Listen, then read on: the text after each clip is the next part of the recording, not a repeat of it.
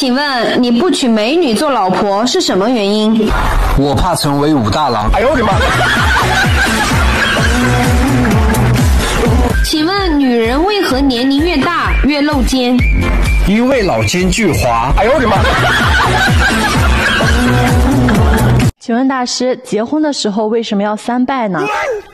结婚之前自己赚钱自己花，翻天覆地的败家，所以叫一拜天地。结婚之后自己的钱不够花了，还要啃父母，所以叫二拜高堂。娶个媳妇儿比自己还败家。所以叫夫妻对拜。哎呦我的妈！大师，我最近发现我脱发特别厉害，您看这是个什么兆头？吉兆。啊，是吗？还请大师明示。未来，你可以省很多洗发水了。哎，我找到男朋友了。是吗？我太高兴了！你高兴什么呀？我受到了鼓舞。什么意思啊？连你这样的都有人要，我还有什么理由自卑呢？你是什么大师啊？算的一点都不准。此话怎讲？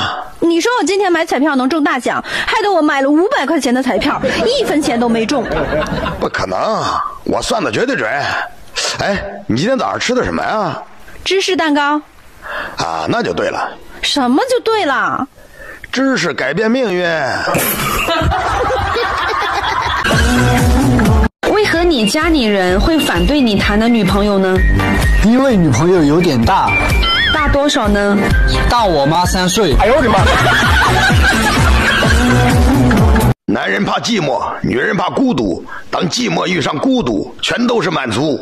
谈什么情，说什么爱，全都是合作愉快。哎呦我的妈！哎，老公，如果有人花一千万买我，你卖不卖？谁呀？他眼瞎呀？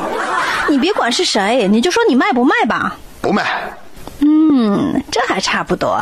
没良心的钱我可不要。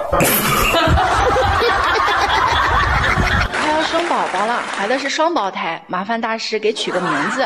如果是个龙凤胎，叫什么？清风明月。那要生两个姑娘呢？倾国倾城，生两个儿子呢？倾家荡产。哎呦我的妈！请问你的优点是什么？我爸叫我悠着点。哎呦我的妈！请问你是喜欢手小的还是手大的女生？手小的。为什么呢？因为三脸没那么疼。哎呦我的妈！